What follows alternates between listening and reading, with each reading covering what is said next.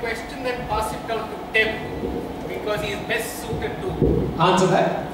Uh, you started by saying at, uh, right now schools are uh, focused on marks. I would say it's not necessarily entirely true. Even a national board like the CBSE moved away from marks into grades and introduced the comprehensive, continuous and comprehensive evaluation which the Tamil Nadu board has started adopting. So slowly schools across the world, not just in Tamil Nadu or in India, do know that marks alone do not matter, grades alone do not matter, though they are a necessary part of uh, learning. Uh, how the school would educate children, how it would do a combination of both classroom assessment through paper pencil things and other and other modes of assessment, uh, would answer. It's a it's a fantastic question. It's it's, it's really the basis of, uh, of of the big debate in education now. Um, what what is really attractive to to educational reformers, progressive education, is about international baccalaureate, is that it is truly child focused. So it is it, it is trying an attempt to move away from rote learning, from from teacher led uh, uh, learning into child centered.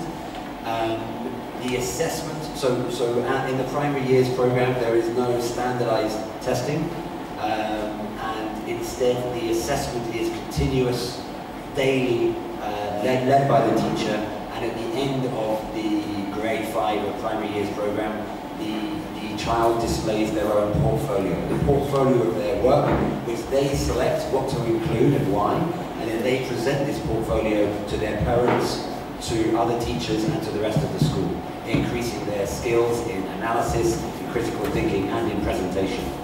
So these, this is not standardized testing, this is not even grading. What it is, is it's really allowing the child to lead their own learning and by doing this become passionate about active learning. And as it happens, uh, recent studies of international schools have shown that when children are tested in a, in a standardized way on maths, reading, writing and science, children who go to IB schools often outperform those who don't go to IB schools in these, these testing. This is for international schools.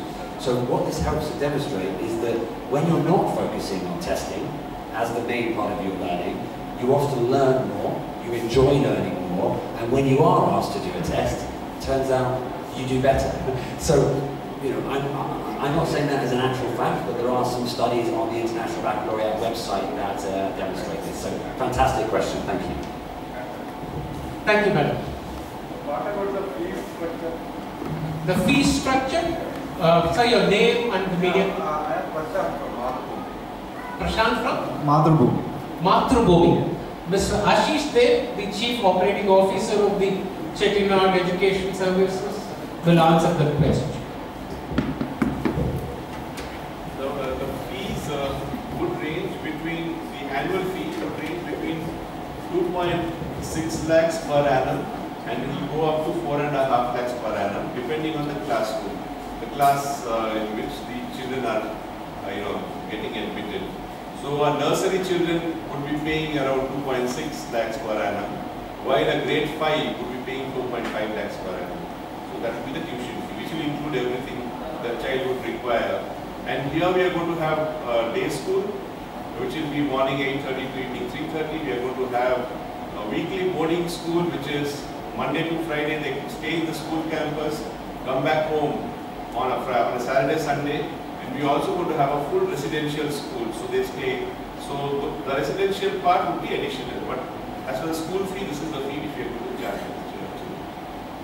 And there will be transport available uh, uh, for the for the, uh, uh, day school. We are also planning to have after school program, which is those children who would like to stay back in the campus till evening 6:30, between 3:30 to 6:30. There will be lots of lots of activities. There will be academies.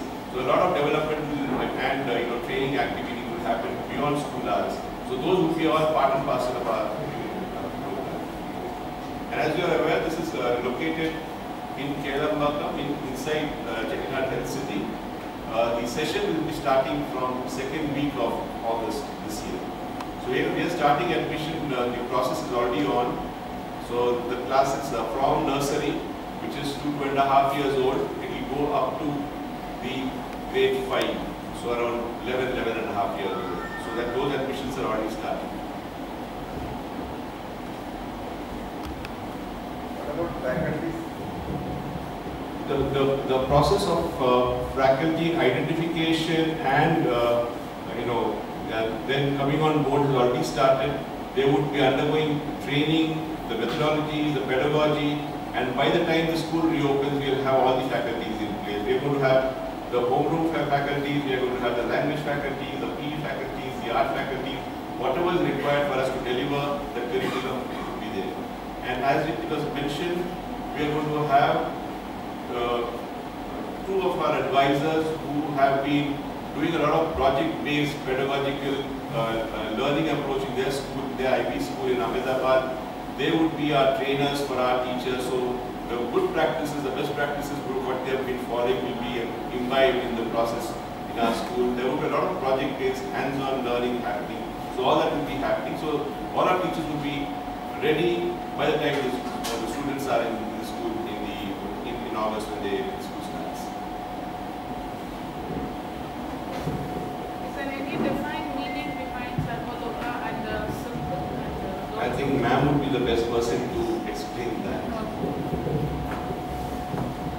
See, the word uh, Sarvaloka is a Sanskrit term which actually means all the worlds. So, all the worlds, the galaxies, living things, non living things, everything that exists in their togetherness means Sarvaloka.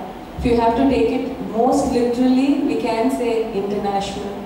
But the actual meaning is all the worlds, so everything. And uh, the logo, the symbol has been selected with a lot of thought. Uh, if you see the, the rays represent sun, the sun, which is the source of all energy. Then you have the green circle, which represents the earth. Then we have a geometric symbol in between, inside, which is actually a yantra, and you know a yantra, and it stands for sustainability and um, uh, prosperity.